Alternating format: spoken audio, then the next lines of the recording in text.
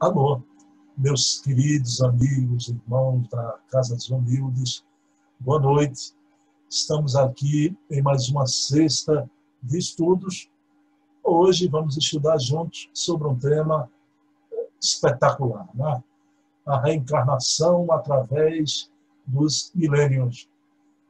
Vamos, desde a antiguidade, passando pelos dias de Jesus, até a época inovidável da revelação espírita, vamos fazer uma abordagem num voo rasante pelas civilizações, né? sobre essa ideia magnânima que é um postulado dos principais da nossa querida e amada doutrina espírita.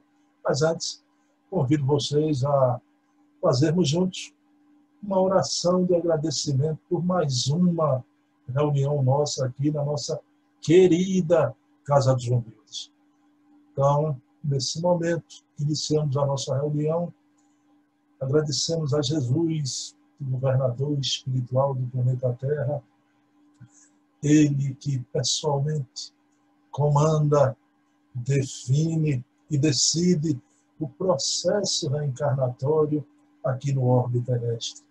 Obrigado, Jesus, por essa lei magnânima da palingenesia, do nascer de novo, essa lei que faculta ao espírito imortal a construção da sua evolução através da noite dos tempos. Então, obrigado, Senhor Jesus, pelo nosso corpo, por mais uma vinda ao orbe terreno, e que possamos aproveitar essa oportunidade e ganhar a reencarnação. Então, com o coração agradecido e pedindo permissão a Jesus, iniciamos a nossa reunião de estudo da noite de hoje. Meus queridos e amados irmãos, vamos começar. Eu falei que a gente vai passear pelas civilizações, por vários conceitos, mas eu queria iniciar, claro e evidentemente, esse tema da reencarnação com Jesus, os dias do Evangelho, e esta que foi, para mim, de todas, a maior aula que alguém já deu sobre reencarnação. Então vejamos como foi. Vamos entrar nesse túnel do tempo um túnel do tempo espírita, um túnel do tempo cristão, e rememorarmos aquela noite bela em Jerusalém. Então, vinde comigo, vamos adentrar aquela cena. Existia a Torre Antônia em Jerusalém. Dessa torre se observava toda a cidade e naquela noite a torre estava deserta. O vento frio soprava na cidade em repouso.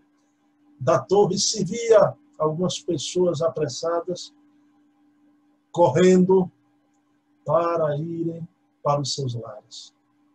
O vento frio soprava e alguns notívagos apressadamente mergulhavam nos seus lares já com as portas e janelas fechadas, a cidade de Jerusalém em repouso. Jesus se encontrava na casa de amigos, esperando alguém que viria para uma entrevista. Aquela entrevista, meus queridos irmãos, ele concedera prazerosamente. Recebeu o pedido e, como quem desejava também aquela entrevista, aqueceu prazerosamente. Quem seria este que iria entrevistar Jesus? Vamos lá.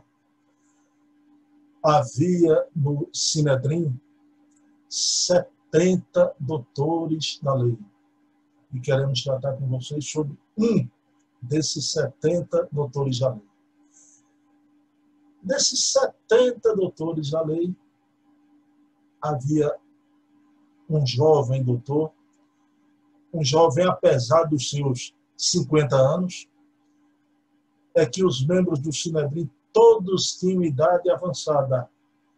Mas apesar de ter 50 anos, Nicodemos, Bar Nicodemos, era o mais jovem dentre aqueles respeitáveis mestres. Então, Nicodemos era membro do Sinedrim, era severo na interpretação da lei, cumpria com zelo os seus deveres, era um homem de bem. E além de fazer parte do Sinedrim, ele ocupava a alta corte do Sinedrim. Nicodemos ouvira falar de Jesus. Todos ali, meus queridos irmãos, que estavam reencarnados naquele momento histórico, exatamente naquela localidade, sentiam algo de maravilhoso no ar. Nicodemos também sentia essa psicosfera de luz. Nicodemos ouvira falar de Jesus, da beleza da sua mensagem, das suas curas. E Jesus se encontrava ali em Jerusalém. O viluía, o receberia para essa entrevista. Então, Nicodemos vai ao encontro de Jesus. Um amigo o leva além dos muros da cidade, no vale do Cedron, onde Jesus esperava Nicodemos para essa entrevista. Quando chega lá, Nicodemos não pôde sopitar a emoção. Quando ele olha para Jesus, sente no coração que já conhecia Jesus. Nicodemos reconhecia Jesus. Jesus também identificou Nicodemos. É que, meus queridos irmãos, aquela entrevista não fora marcada aqui na terra, ela fora adredemente preparada e marcada nos planos celestes.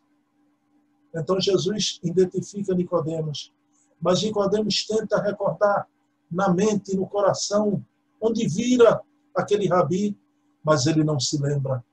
E eu pergunto a vocês, meus queridos irmãos, por que Nicodemos não se lembra de Jesus?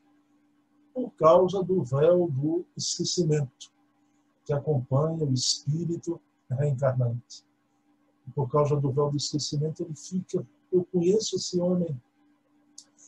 E vejam bem que cena bucólica linda, né?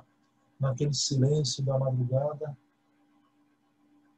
os lampadários de prata, senta-se à mesa, Nicodemos, Jesus, acompanhados pelo amigo de Nicodemos e por um jovenzinho, João, de apenas 15 anos de idade. Vocês aguardem aí que a gente vai ver a presença daquele jovenzinho, que é muito importante. Ele não está ali por acaso. Vejam como Jesus cuidava de tudo. Então, Jesus pede para que Nicodemos comece a entrevista. Nicodemos, Bar, Nicodemos, inicia a entrevista assim. Rabi, sabemos que és mestre vindo da parte de Deus, porque ninguém pode fazer esses sinais que tu fazes se Deus já estiver com ele. Vejam bem que Nicodemos começa a entrevista com um elogio à pessoa de Jesus. E Jesus não precisa de elogio. Então Jesus imediatamente interrompe Nicodemos e diz: Nicodemos, vá Nicodemos, que queres tu de mim? Como quem diz, homem, vamos à entrevista. E Nicodemos começa de uma forma maravilhosa, né?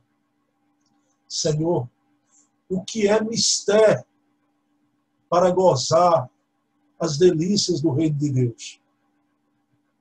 Ao que Jesus responde: Em verdade, em verdade vos digo: aquele que não nascer de novo não pode ver o reino de Deus.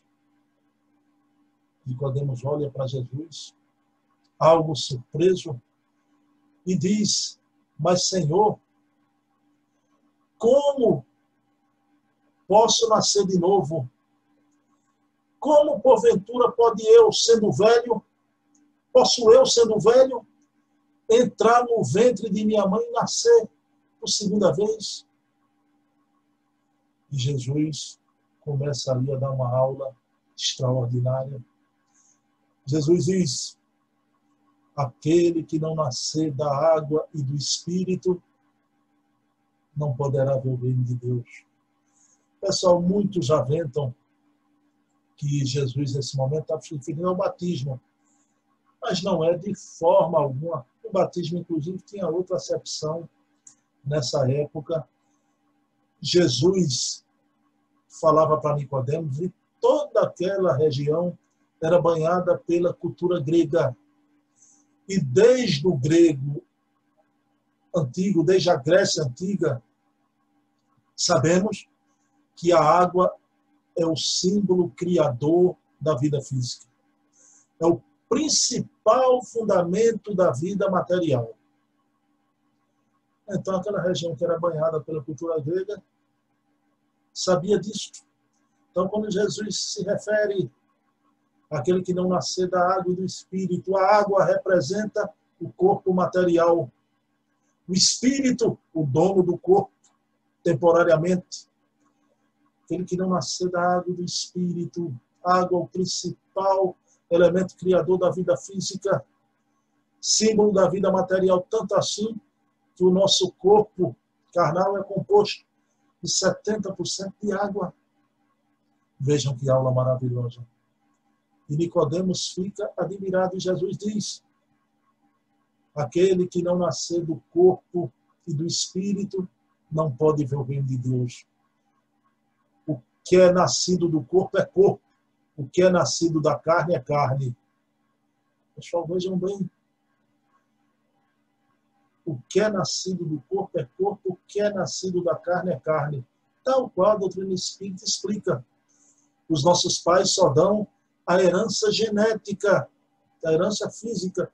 Claro que também alguns caracteres psicológicos, né? Mas os nossos pais só dão a herança genética. Eu, por exemplo, tenho essa careca desbragada do meu pai, mas tenho esse sorriso maravilhoso da minha mãe, não é? Para contrabalançar. Então, vejam bem. Então, que é nascido do corpo é corpo, que é nascido da carne é carne. Os pais só dão herança genética. Tanto assim que temos pais geniais com filhos medíocres. E a recíproca é verdadeira também. Filhos geniais vindas de pais medíocres. Então vejam que aula. Nicodemos olhava para Jesus admirado. Jesus percebeu e disse: Não te admires, Nicodemos. Eu te disser, importa-vos nascer de novo. O Espírito sopra onde quer.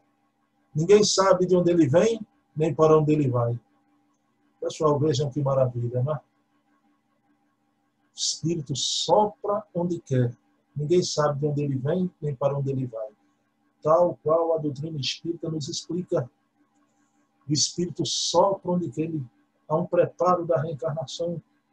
Então ele vem ali no seio daquela família.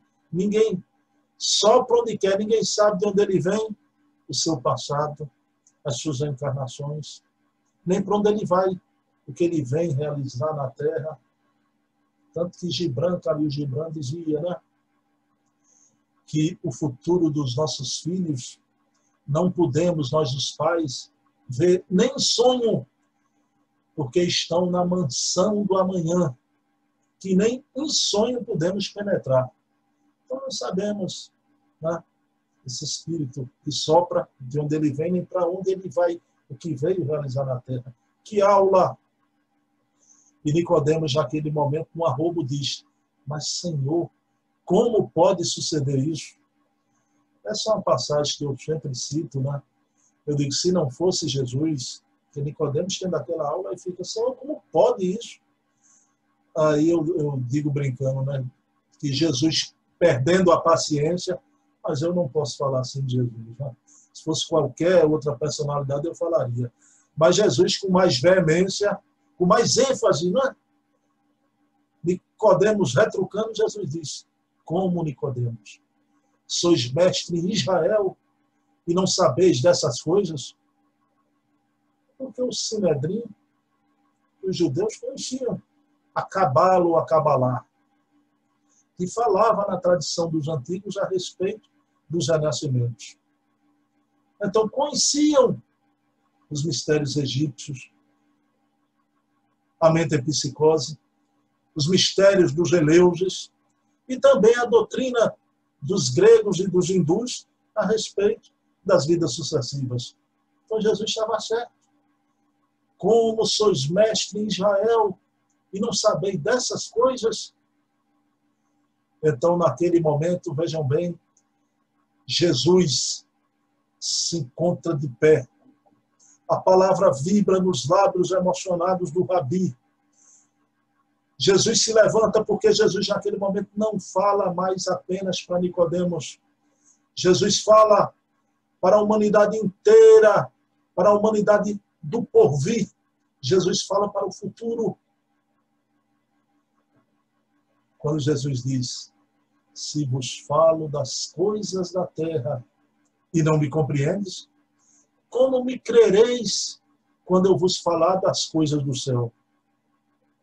Vejam bem, que maravilha, não é? Se vos falo das coisas da terra, não me compreendes? Como me crereis quando eu vos falasse das coisas do céu?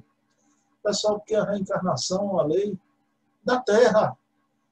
Prova disso é essa obra notável do querido médico ali que já teve na Casa dos Humildes, né? Essa obra é até autografada. Ele autografou para mim, né? Bruno, com carinho, esse breve estudo desse Andoli Júnior. Então, a reencarnação como lei biológica. livro notável desse grande médio da AME, Associação da Espírita do Brasil, Dr. Décio Andoli Júnior. A reencarnação como lei biológica, por quê? Porque é uma reencarnação, uma lei da Terra. Então vejam bem que maravilha. Né? Se vos falo das coisas da Terra, não me compreendes a reencarnação com a lei da Terra. Como me creria se vos falasse das coisas do céu? Pelas revelações todas que André Luiz trouxe depois. Né? Por isso que Jesus disse, teria muito a vos dizer, mas vós tendo ouvidos não ouve, tendo olhos não veem. Eu pedirei ao Pai, ele enviará um outro consolador, que lembrará tudo que eu tenho dito e ainda dirá muito mais. Por isso, ele dizia ali, né, Codemos, se te falo das coisas da terra, não me compreendes a lei da reencarnação, como diz o doutor Décio, uma lei biológica, que dirá se eu vos falasse das coisas do céu, essas revelações do plano espiritual. Né? Então, o Rabi está de pé, a entrevista está concluída e Nicodemos, emocionado, se despede beijando as mãos do Rabi e, embrulhado no manto, desaparece na noite fria, meditando em tudo de belo e grandioso que acabara de ouvir. A lei da reencarnação, meus irmãos, foi ensinada nessa aula memorável pelos lábios sublimes de nosso Senhor Jesus Cristo. E essa aula sobre a lei da reencarnação decifraria os enigmas da vida pelos tempos do porvir. Mas por que a presença de um jovenzinho de 15 anos de idade? João, exatamente por isso, porque era um jovenzinho de 15 anos de idade. Eu explico, pessoal, vejam bem. Eu, Bruno Tavares, se vocês me perguntarem coisas de um ano, dois anos atrás, eu preciso de muito esforço. Eu talvez me esqueça algumas coisas de dois, três, quatro anos atrás. Agora, se vocês me perguntarem coisas dos meus 12, 13, 15 anos de idade, é impressionante. Tudo está gravado indelével. Eu me recordo imediatamente. Por quê? Porque o jovem nessa fase está na fase da despreocupação. Então ele tem a mente panorâmica ele grava tudo. E João era o discípulo amado, o único que botava a cabecinha no peito de Jesus. Vejam bem. E Jesus leva João jovenzinho. E ele, naquele momento, está anotando na sua memória espiritual.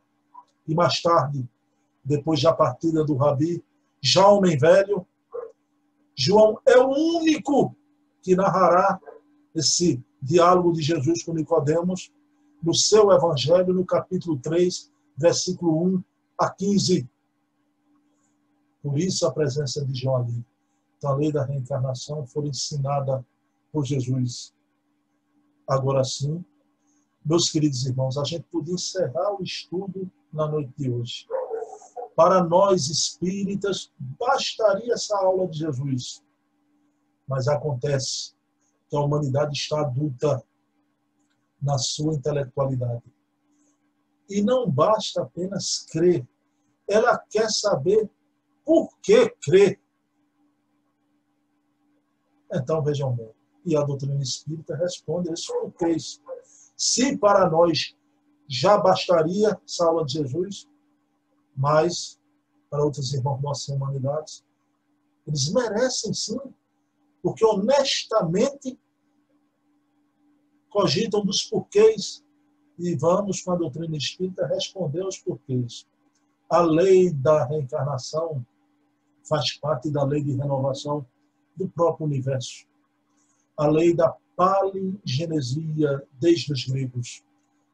A palavra palingenesia significa, vejam bem, palin, novo, genesia, nascimento.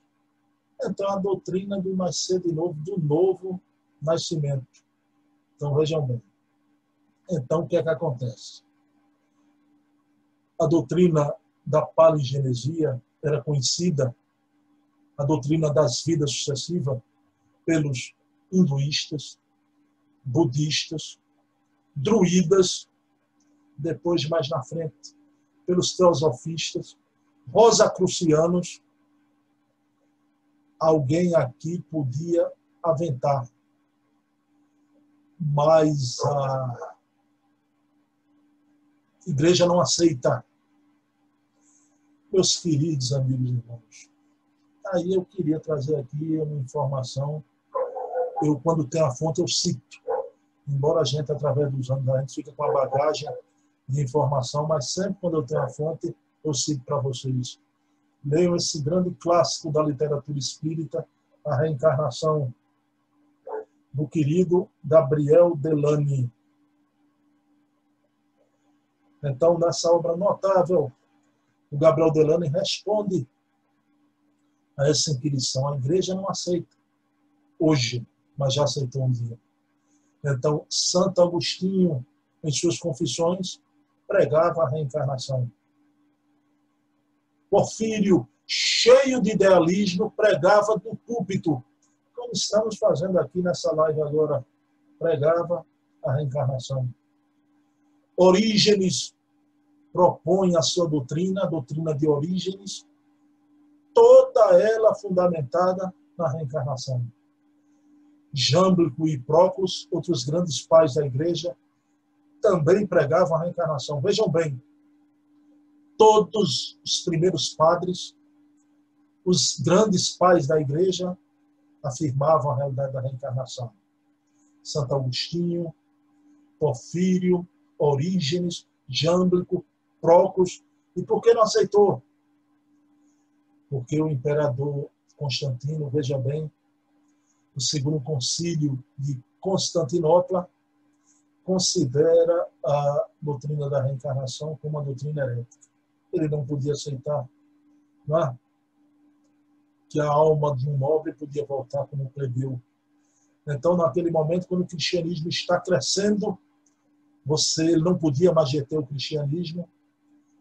E aquele ditado, quando você não pode com o inimigo, você se alia a ele. Então vai ser criada a igreja católica, que significa universal, apostólica dos apóstolos, e romana, o romano não precisaria, né? mas é exatamente para ficar adstrita ao Estado romano. Então, a Igreja Católica Apostólica Romana. Mas Constantino não aceitava a ideia da reencarnação. E no segundo concílio de Constantinopla, foi considerada doutrina herêtica. Então foram muitas forças contra essa ideia libertária da reencarnação. Mas a igreja já aceitou um dia. Então vejam bem. A Inquisição combatia aqueles que acreditavam na reencarnação como hereges.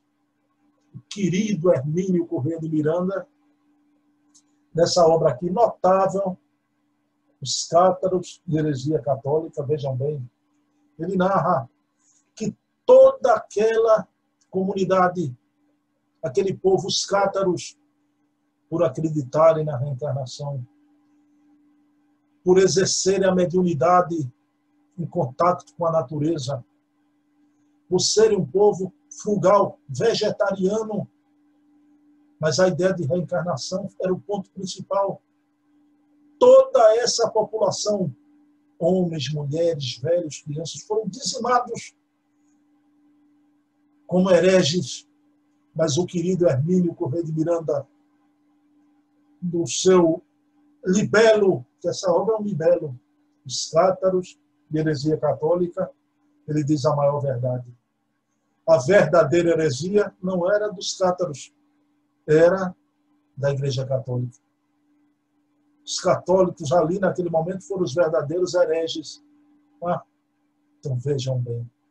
Mas Allan Kardec é genial, porque é Kardec que vai tirar essa ideia da reencarnação da noite dos tempos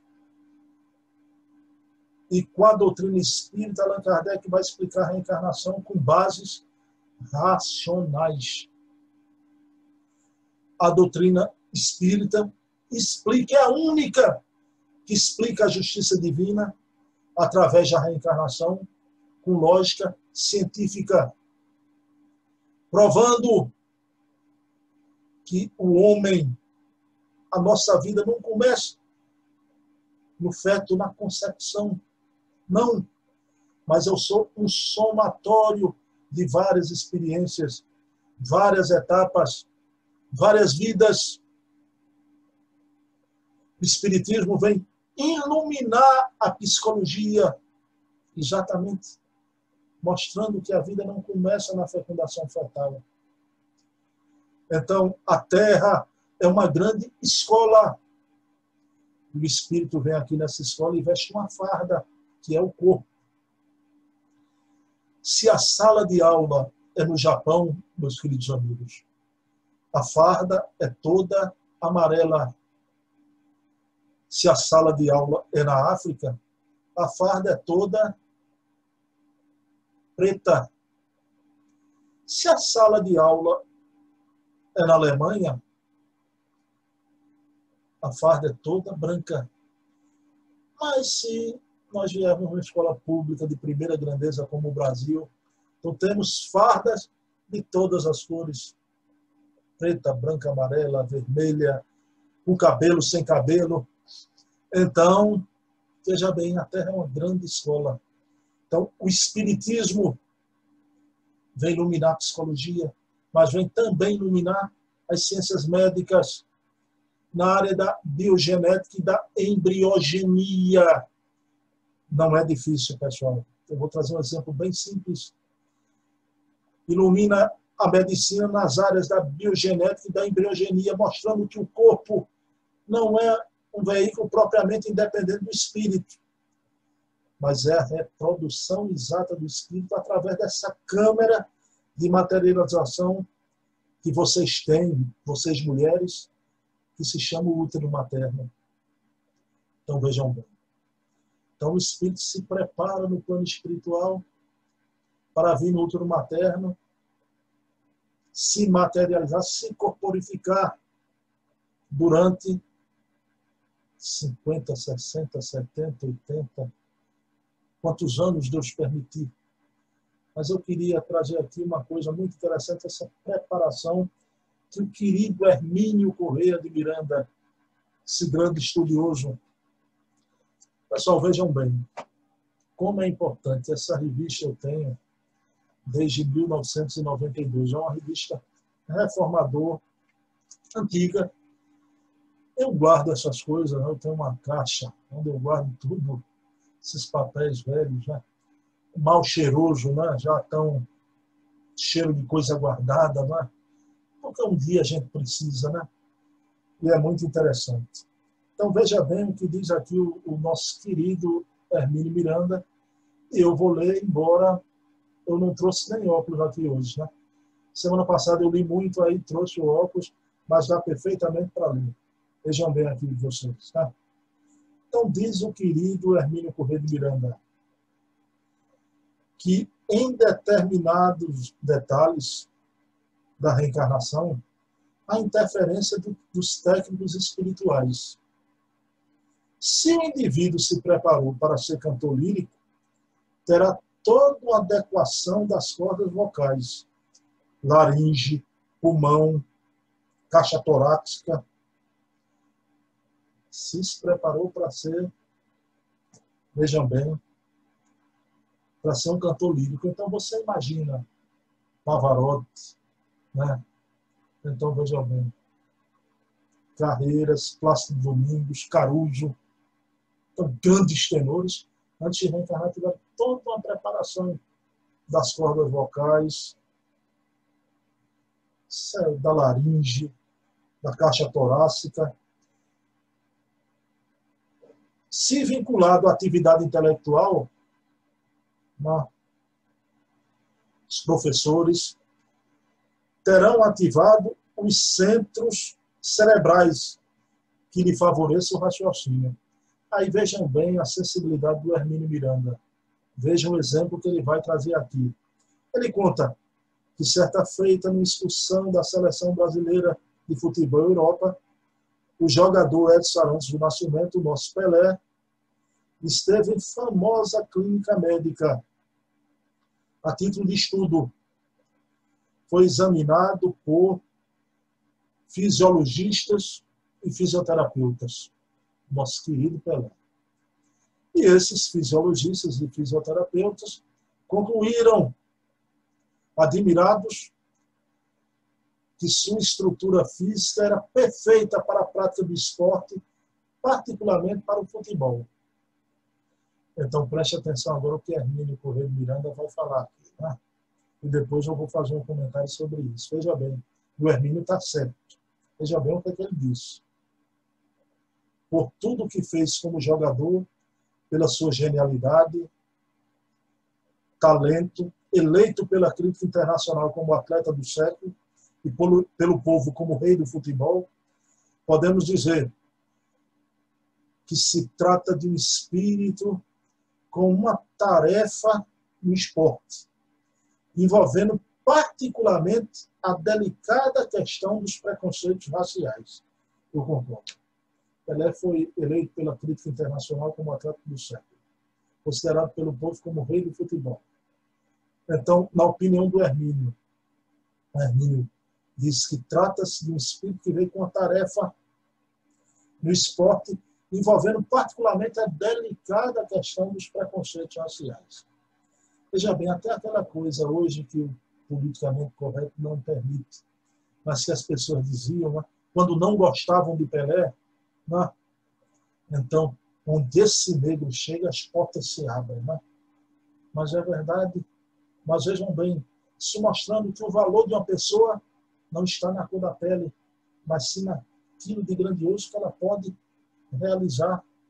E Pelé era assim mesmo. É? Ele veio com essa tarefa nas delicadas questões dos preconceitos sociais. Agora, atentem bem, porque aí alguém já pode estar pensando, né?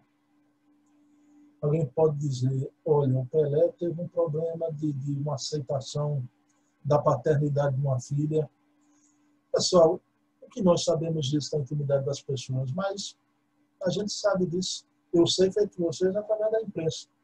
Como sei também do apoio que ele deu. Jamais escondeu o apoio que ele deu ao filho Edinho, que era goleiro, né, envolvido com as drogas, que agora saiu, cumpriu sua pena, trabalha no Santos Futebol Clube.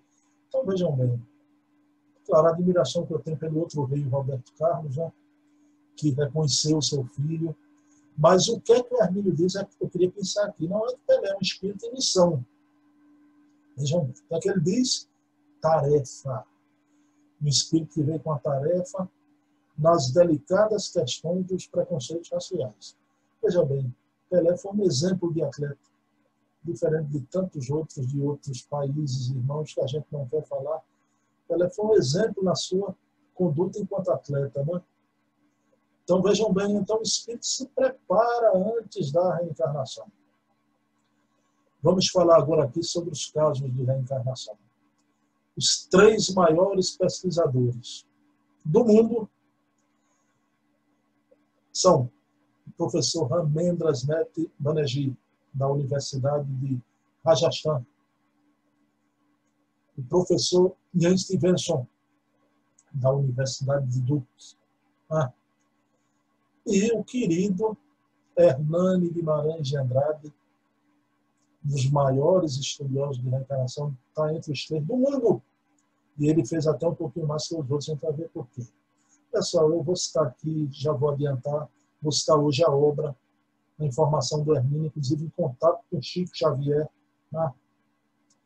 que o Hernani Guimarães de Andrade é a reencarnação aqui no Brasil do espírito Lavoisier. Mesmo que dizia que na natureza nada se cria, nada se perde, tudo se transforma, né? Então Lavoisier reencarnou entre nós e se dedicou a psicobiofísica, o estudo da reencarnação, a parapsicologia, o grande Hernando Guimarães de Andrade, né? Mas vamos começar pelo professor Ian Stevenson. O professor Stevenson viajou o mundo, estudou milhares de casos de crianças, de adultos também, mas se lembravam de reencarnação passada. E ele lançou esse que é um best-seller 20 casos sugestivos de reencarnação. Tá? Então vejam bem. Que aqui tem o um nome de reencarnação, 20 casos, na, na tradução portuguesa. Então, 20 casos sugestivos de reencarnação do Dr. Ian Stevenson. Que homem maravilhoso, né? O Dr. Ian Stevenson estudava essas crianças, né? E ele tinha uma fã. E vejam bem o valor da doutrina espírita. Então, Ian Stevenson uma vez falou com um guru indiano e disse: Olha, eu queria que você me explicasse, conversasse muito comigo a respeito da reencarnação. Porque eu creio que essa ideia da reencarnação pode reformar a humanidade. Quando ele falou isso para o guru indiano, o guru indiano riu assim para ele, né? Aí o professor Ian Stevens ficou um pouco chateado, né? Eu insisti, eu não estou entendendo a graça, né? Eu sou um pesquisador, vim aqui, você é um grande guru. A minha ideia é essa, de que a ideia da reencarnação pode reformar a humanidade. E o guru piorou ainda na sua risada. Aí o, o professor Stevenson é, franziu o senho, né? Aí o guru estendeu o dedo para o professor Stevenson, meu querido professor. Aqui na Índia, as crianças já nascem conhecendo e sabendo a verdade da ideia da reencarnação. Mas aqui no meu país, tem mais estupradores, fascínoras, bandidos, ladrões, talvez até do que no seu país. Pessoal, que lição o Guru colocou. Que não basta uma crença, uma ideia. E aí a gente tem a doutrina espírita aqui no Brasil. A gente tem o que o Guru fala lá, que o indiano tem, mas a gente tem o Evangelho de Jesus. Olha a aula de Jesus com Nicodemos. Então, mostrando a reencarnação como um valor moral, com essa ideia do professor Stevenson da reforma da humanidade. Então, não basta a ideia da reencarnação somente. Ela precisa estar junto com o Evangelho de Jesus e nós temos ela com a doutrina espírita. Né? Então, vejam bem que coisa maravilhosa. Mas o professor Stevenson, veja bem, estudou casos e casos de crianças e ele lançou esse livro também. Vejam bem como eu gosto do tema, né? Crianças que se lembram de vidas passadas. Olha lá. Crianças que se lembram de vidas passadas, do Dr. Ian Stevenson. Outros casos, que ele saiu para o mundo, mas alguém aqui pode objetar. Bruno, vê bem, Bruno, o que você acabou de dizer. Na Índia, as crianças já nascem, é cultural essa ideia. Então, esses pesquisadores vão lá, as crianças dizem que se lembram, lê do engano. Pessoal, o professor Ian Stevens era um pesquisador, um grande, um gênio. Aí ele lança a sua segunda obra para mostrar que não é só as crianças da Índia. Ele lança essa obra Casos Europeus de Reencarnação. Casos Europeus de Reencarnação. Grave aí a capa, né? Então, vejam bem. Esse aqui é Crianças que se lembram de vidas passadas, tá? Tá e esse aqui é Casos Europeus de Reencarnação. Casos Europeus de Reencarnação. Mostrando o quê? Que as crianças se lembram ainda, mas crianças na Europa também. Né? E não só crianças, adultos. Lá na América do Norte aconteceu um caso maravilhoso de Jenny Kukel. As pessoas citam muito o filme, o filme é belíssimo. Eu, quando vi o filme, eu chorei, né? O filme com aquela atriz, aquela atriz de Em Algum Lugar do Passado, né? Jane Seymour, que fez aquele filme, para mim, um dos filmes da minha adolescência, né? Eu, apesar de ser homem, é um filme da minha adolescência, em algum lugar do passado, com Jane Seymour e Christopher Reeve, aquele super-homem, fez super-homem, desencarnou paraplégico, triste, né? Mas a Jane Seymour, hoje já uma senhora, coroa, mas é impressionante que o olhar dela, quando jovem e agora, não permanece o mesmo, né? Que atriz bela. Então vejam bem, a, ela interpretou no cinema Johnny Cooker, que era a mãe que se lembrava de quatro filhos lá na Irlanda, em Malakai, não é? Eu se lembrava até da igrejinha de Malakai. E ela volta para buscar os quatro. Veja esse filme, está aí no YouTube. Um filme maravilhoso. E dos quatro filhos, tinha um que trazia um sentimento de culpa que ela tinha pedido para ele guardar os outros três irmãozinhos, né? Então vejam bem. Mas aí ela retorna e, e tem um contato com aqueles filhos já velhos, ela jovem e eles velhos. Ela se lembra de tudo, eles também se lembram, se emocionam. E todos eles resgatam o menininho, o mais velho, que tinha consciência de culpa. E ela, com aquele seu filho, o velhinho, com aquela jovem. Mas ali estava um filho, que era o velhinho, e a mamãe. E ela lembrando que todas as tardes passeava de barco com ele e até diante. Você se lembra? Ela dizia para ele, ele me lembra de tudo, mamãe, não é? Tão lindo, mas eu vou dizer uma coisa a vocês. Até aí, numa película arrebatadora, linda dessa, eu, Bruno, prefiro o livro. E a FEB, em muito boa hora, conseguiu dar, entrou em contato com o Cooper, teve a permissão dos direitos autorais e lançou a edição da FEB, Federação Espírita Brasileira, né? Johnny Kukel, Minha Vida em Outra Vida, né?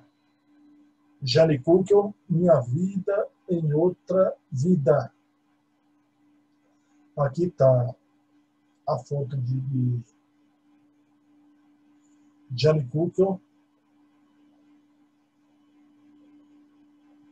Na outra encarnação, ela aqui nessa encarnação, né?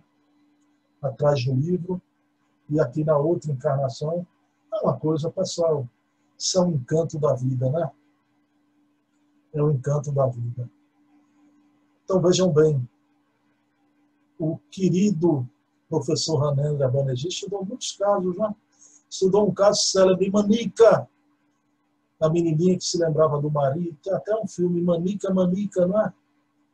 Então é impressionante aquilo, ela vai numa aldeia distante, o marido já está casado com, com outra esposa, mas ela é criancinha, E ela, quando vê o marido, ela e o marido fazem aquela saudação que os dois sempre faziam, né? Namastê. O Deus que está em mim, sabe o Deus que está em ti. Se lembram de várias coisas. Agora ela ficou ali começou a ter problema de ciúme da nova esposa, ter ciúme de uma criança, mas era normal. E ela comprovou a reencarnação. E um padre que ajudou ela a achar o marido de outra vida, né? E ela volta para a sua aldeia, né?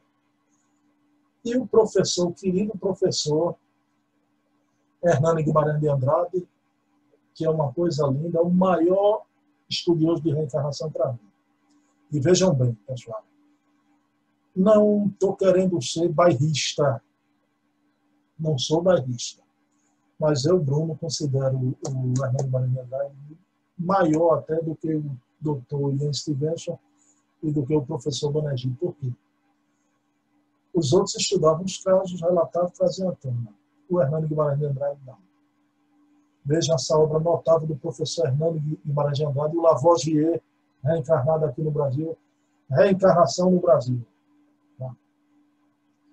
Tá? Reencarnação, vários casos. Qual é o diferencial do professor Guimarães de Andrade? Né?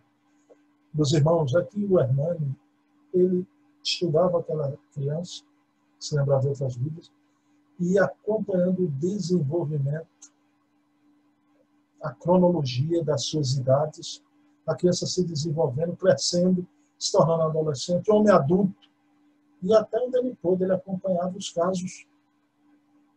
Isso aqui é notável, que pesquisador. E ele cita muitos casos aqui, cita de uma menininha, esse caso é muito, muito belo, né? Deixa eu ler para vocês. Isso aqui eu vou ter que me esforçar um pouquinho, né? Que era a Dona Augusta, a avó da, da, da menininha, né? Zenaide era a mãe. Então, é, é, é uma coisa linda, linda, linda desse, é, essa história, né? Essa história é uma, uma, uma coisa linda de morrer. Então, a netinha de Dona Zenaide tinha medo de de aviões. Ela tinha desencarnado no local que tinha guerra na Itália, né? E que ela dizia, as canetinhas, ela não gostava de caneta, porque sabe o que, é que os alemães faziam na Grande Guerra, pessoal? As bombas eram jogadas como os explosivos, como canetinhas. Caía, as crianças, às vezes, avisadas, pegavam aquilo horrível, né? Mas então, vamos lá. Dona Augusta ficava com a netinha, mas a netinha de manhã já saiu nos braços da mãe dizendo, né? Uma, dois anos de idade. É bom salientar bem isso, tá? Dois anos de idade. Então, vejam bem. Mamina, hoje estou feliz. Então, veja bem. Hoje estou feliz. E a mãe disse, minha filha, você está feliz? Que palavra é essa, minha filha? Não sei, mamãe, estou feliz. E Dona Augusta passou o dia a menina citando isso, né? Tanto que a secretária das duas, quando a mãe retorna do trabalho, a secretária repete o caso, né? Que a menininha ficou repetindo o dia todo, estou feliz. E nesse momento, Dona Zenaide diz, né, mas ninguém aqui fala italiano. Aí a menininha de dois anos de idade olha para a mãe e para a avó e diz, não, eu parlo. Meus queridos irmãos, vejam bem, aí é o nosso querido Hernando Guimarães de Andrade, vejam que coisa linda, né? São casos assim que ele traz. E eu parlo. Então vejam bem. Então, mostrando de forma documental, esses três grandes pesquisadores, né, que a reencarnação, a lei biológica, ela é verídica. Mas já tivemos há um fio, um laço social, um laço psicossocial, um laço psicoafetivo. Quer dizer, aquele grupo grande retorna os grandes clãs. A gente não reencarna sozinho, Eu aprendi isso. A gente reencarna em clã. Eu reencarnei aqui com meu clã familiar, né? minha mulher, minhas filhas, mas nossos, o parentesco em volta, a parentela toda da família, mas também os amigos que aparecem, né? Com tantos amigos de, de, de outras vidas, né? Que eu, é impressionante. Tá? Amigos que a gente reconhece, né? Como meu querido amigo Amaro Carvalho, né? Amaro tem absoluta certeza. Meu querido amigo Luiz Jorge Lira Neto, né? Jorge não vai gostar, mas eu vou evitar informações. Jorge chegou na Casa dos Humildes, Jorge teve visões de reencarnação nossa. Né? Fomos amigos em, em tal encarnação que isso não importa. Né? O Jorge tem essa possibilidade maravilhosa. Né? Outro exemplo que eu quero dar aqui, minha querida amiga Valéria Pessoa, né? tamanha afinidade né, que eu tenho, esses encontros, que eu sei que todos vocês têm também.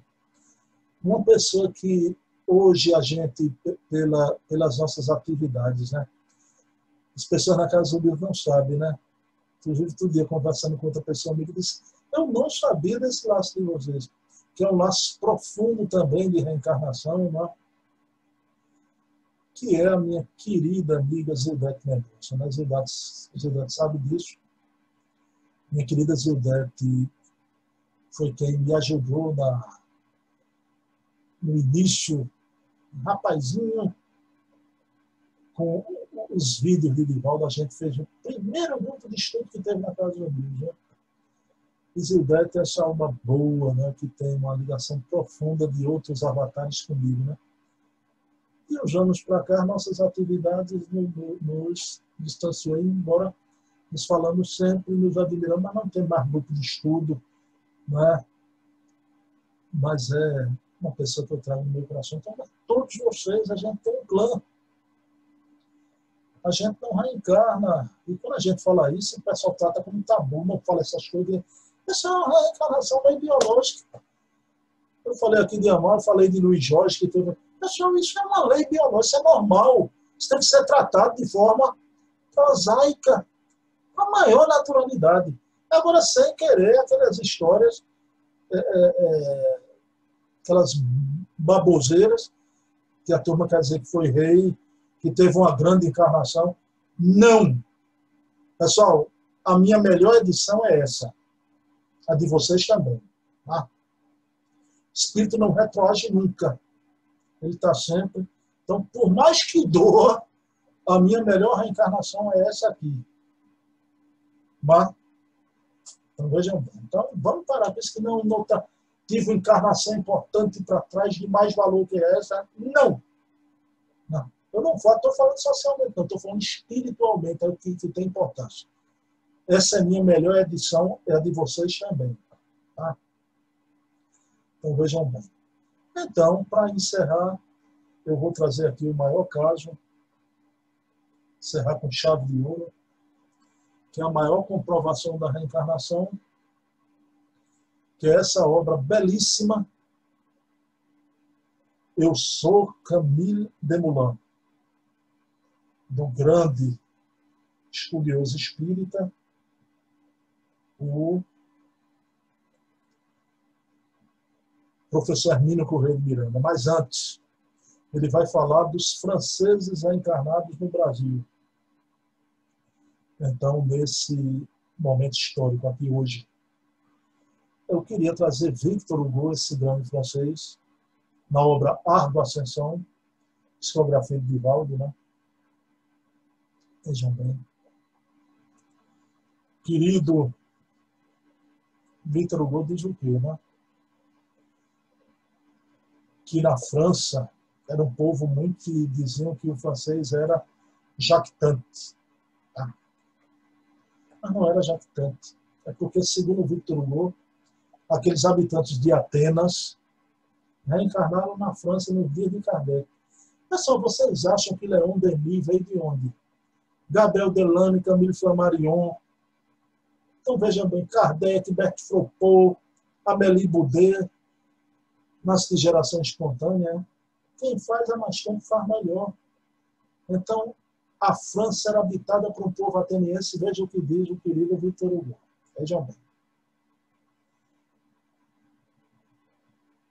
Então, quando se estruturava a programação da reencarnação do missionário Allan Kardec Lyon, como embaixador do Cristo, para dar início à era do Espírito Imortal, considerando-se as tarefas que ali se desenvolveriam 19 séculos atrás, na condição de sacerdote druida,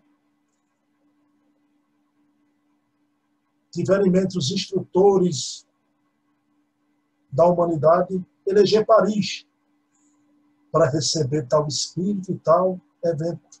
Receber Kardec, aquele druida, tá? e no evento da terceira revelação. Então vejam bem. Por que Paris tem que ser aquele centro irradiador da grande ideia? Porque nenhum país reunia condições naquele momento histórico que pudesse rivalizar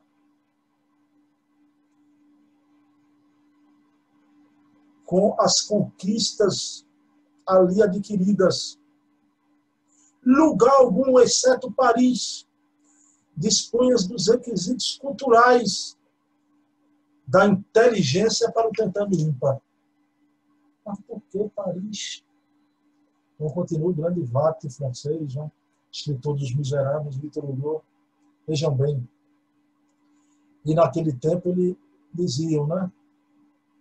Então, vejam o que, é que o pessoal falava naquele tempo. Melhor ser vaiado em Paris, afirmava Chantão. E no mundo inteiro ignorado, do que aplaudido no mundo inteiro, mas em Paris desconhecido. Aí diz Victor Hugo, não era jactância nem presunção, e sim um retrato vivo de uma cidade que se sabia iluminada por um povo ateniense. Paris sabia, pressentia que estava iluminada por um povo ateniense, reencarnado ali. Então vejam bem. O que é que acontece? Aí vai haver o transplante, o encontro de São Luís, guia espiritual da França, com Ismael, guia espiritual do Brasil. Os dois se encontram nas esferas mais altas. Né? Então, então, quando se organizavam os roteiros para o advento do Consolador na Terra, mediante a doutrina espírita, os abnegados e sábios mentores da França foram informados que ali se iniciaria o programa, mas que, todavia, iria se fixar por algum tempo em outro país, de onde se dilataria, abraçando todo o planeta. Então, dali algum tempo, iria para outro país, onde dilataria, abraçando todo o planeta a doutrina espírita. A França, onde renasceram os atenienses, para o que diz Vitor Hugo, estava assinalada pela glória, mas também por misérias, guerras externas e internas. Desse modo, tão logo implantado o ideal espírita, seria translandada a árvore evangélica de cuja seiva a ciência se sustentaria para os arrojados cometimentos futuros. O Brasil, destituído de débitos, vejam bem, houvera sido escolhido para esse segundo período da realização espírita. Aí vejam o que ele diz aqui para a gente ir para o caso que eu trouxe, né? Então, muitos franceses renasceram em número expressivo no Brasil. Olha o que diz Vitor Hugo. Muitos franceses renasceram em número expressivo no Brasil. Espíritas por segunda vez. Alguns outros que conheceram a doutrina antes do retorno do corpo, a fim de promover a grande arrancada da divulgação e da realização doutrinária. Então veja que coisa linda. Que coisa maravilhosa, né? Ainda mais se for examinado que muitos dos modernos trabalhadores da série espíritas são antigas personalidades francesas. A gente vai ver alguns aqui. Né? Então, pessoal, que a gente aprende com Victor Hugo, Ardo Ascensão, é que a gente aprende que os franceses estavam iluminados através da reencarnação por um povo ateniense. E o Brasil hoje, esse povo voltou e reencarnou no Brasil. Por isso esses grandes estudiosos, você vê de Valdo Franco, né? todos eles, o Hernando Guimarães de Andrade, o Hermínio Miranda, né? homens que deram a vida no ideal. Tá? Então, sempre de forma de graça, despojada. Né? Aí, quando você vê um mil vil metal, né? querer comercializar a mensagem escrita aí é inadmissível. Aí são obsessores que devem ter vindo da França também. Né? Pessoal, então, o professor Hermínio Correia de Miranda lançou essa obra eu sou Camilo Gamulão, que foi uma experiência de regressão de memória que ele mesmo, Hermínio, andou um tempo que ele fez essas experiências com o jornalista francês Luciano dos Anjos. Então vejam bem. Então, o querido Hermínio teve informação do plano espiritual quando fez essas sessões de regressão Conversou com Chico Xavier, teve outras informações. E vamos ver alguns personagens, como o Victor Hugo falou, que reencarnaram na França aqui no Brasil.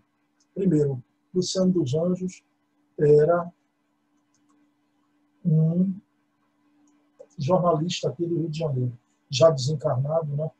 Eu tenho um amigo de Vitória da Conquista, Luciano Novaes, né? Foi muito amigo do Luciano dos Anjos, corresponderam até à morte do Luciano, né? Ele me contou coisas maravilhosas, grande espírita. E o Luciano dos Anjos fez a regressão, o que é que ficou constatado? Ele foi Lucien Camille Demoulin. Olha o nome, né? Luciano Lucien. Jornalista na França, jornalista no Brasil. Uma revelação aqui.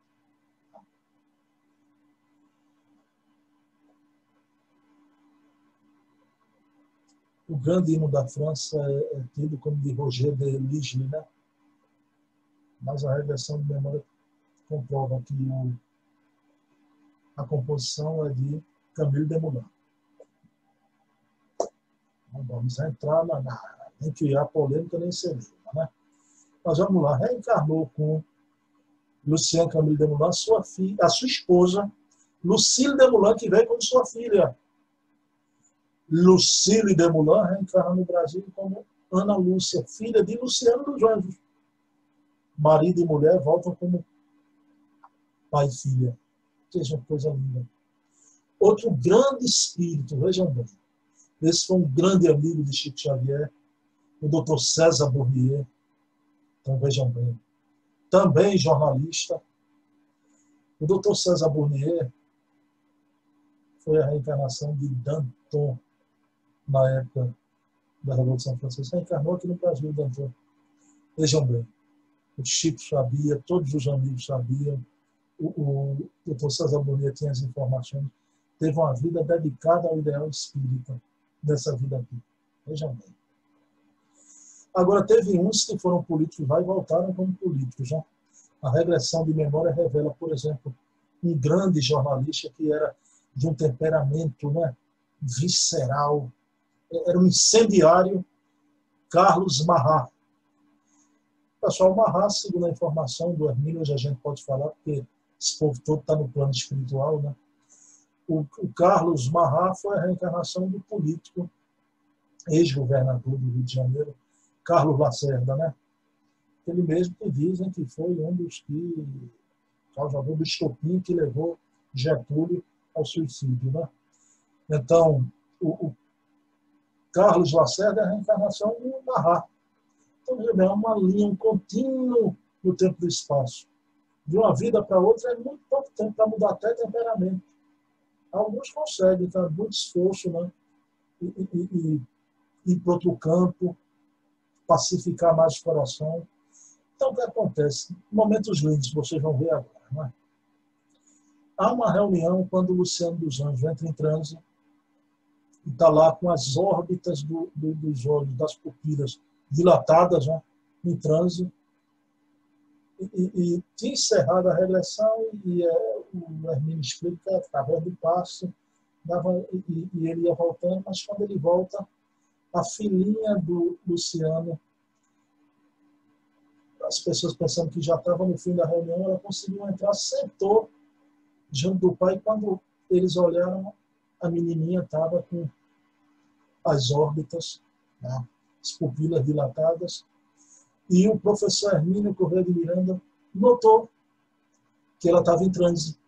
Mas esse transe não fora ele, o Hermínio, que colocou ela, como o Hermínio colocava o, Luciano dos Anjos.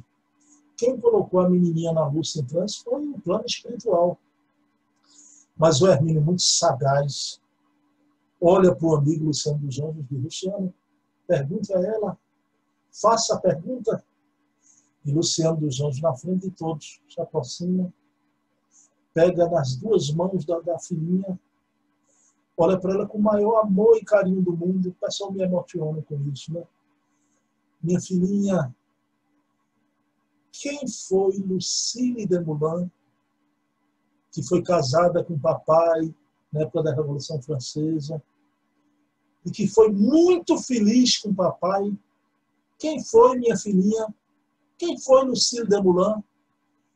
E a menininha respondeu: Fui eu, papai, Ana Lúcia Martinho dos Anjos. Meus queridos irmãos, é mole ou quer mais, tá?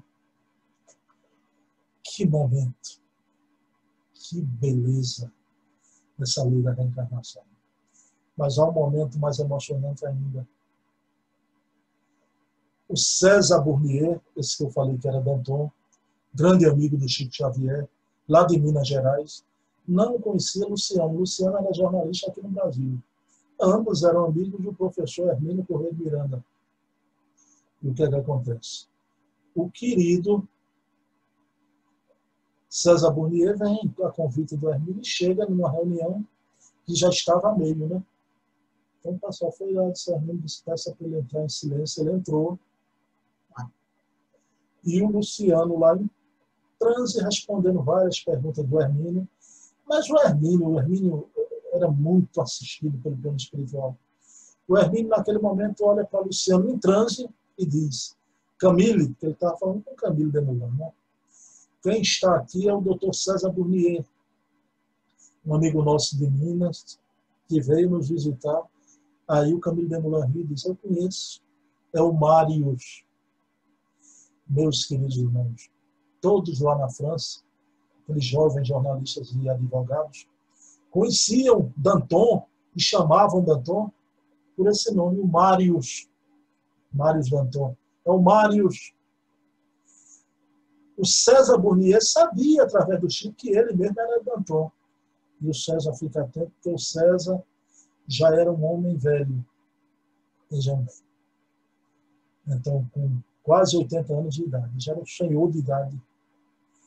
Mas naquele momento o Camilo de Moulin faz mais. Olha para o Hermínio e diz, né, com a, sempre com a pupila dilatada, e diz, pede ao Marius para me dar um beijo. Pediu diretamente, Marius, dá-me um beijo. Pessoal, aquele pedido, dá-me um beijo, aquilo ali foi a senha que reacendeu a chama da velha amizade. Olha o pedido. Esse pedido tem uma coisa muito importante. Mário, dá-me um beijo.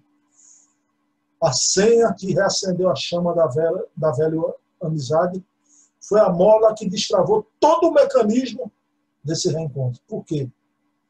Porque lá na França os dois morreram na guilhotina. E os dois foram sendo guilhotinados juntos. Narra a história, é verdade, que o Camilo de Moulin chorava feito uma mulher. O Danton não, corajoso, timorato, né? Então, no momento em que Danton vai primeiro ser guilhotinado, Camille pede, Marius, dá-me um beijo. O Danton ia dar um beijo no amigo, mas o carrasco Sanson não permite. Aí Danton, com aquela coragem, diz para o amigo, que importa, Camille? Nossas cabeças irão se beijar daqui a pouco no cesto da guilhotina. Então, aquele pedido, veja bem, é, é, é extraordinário, porque ele liga as pontas soltas de duas vidas. Então, naquele momento, no apartamento de Hermínio Correia de Miranda, estavam ali profissionais liberais, médicos, advogados, engenheiros. Estou dizendo homens que não eram piegas, mas aquele senhor de idade já, César Bournier, se aproxima de Luciano dos Anjos, se abaixa e deposita na testa de Luciano um beijo. Mas naquele momento, meus irmãos, não eram César Bournier e Luciano dos Anjos. Era Danton que vinha e dava um beijo que o carrasco Sanson não, permi não permitiu lá na França e depositou o beijo na testa do seu amigo Camille Desmoulins. Então vejam bem, dois amigos que se reencontram 174 anos depois que se viram pela última vez sobre o tablado da guilhotina.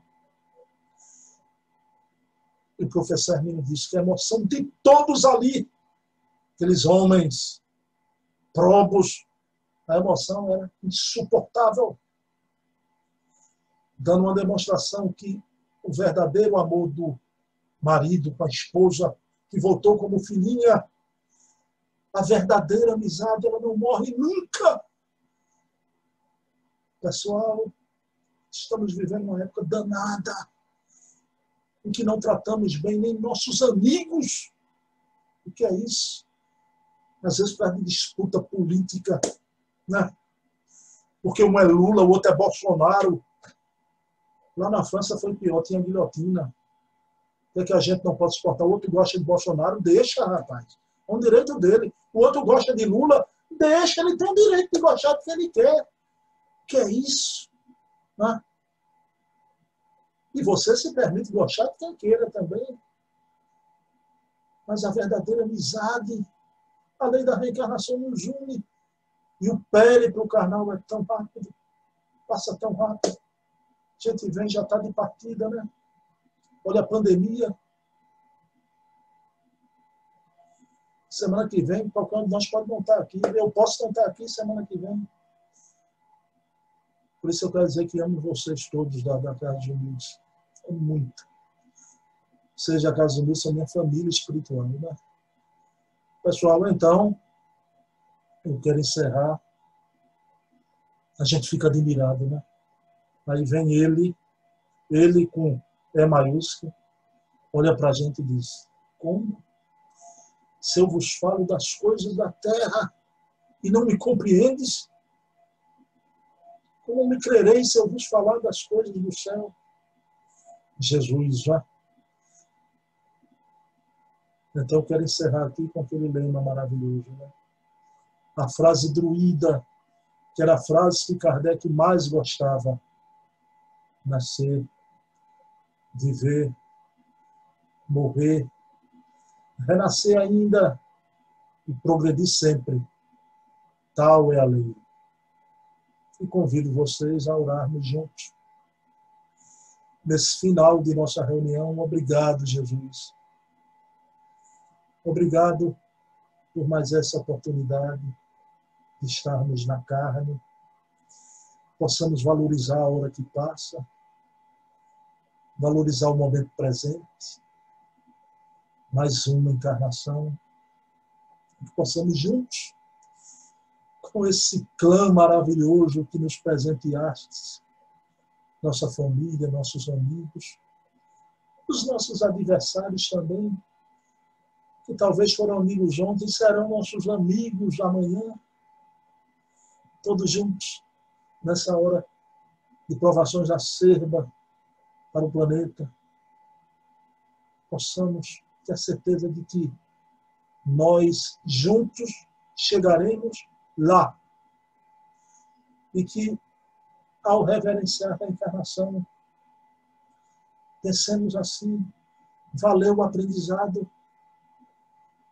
Não vamos ficar com saudade, Senhor, porque saudades eu tenho do futuro. Pois é lá, Jesus, que reservas para todos nós a nossa felicidade. Saudade do futuro, Senhor.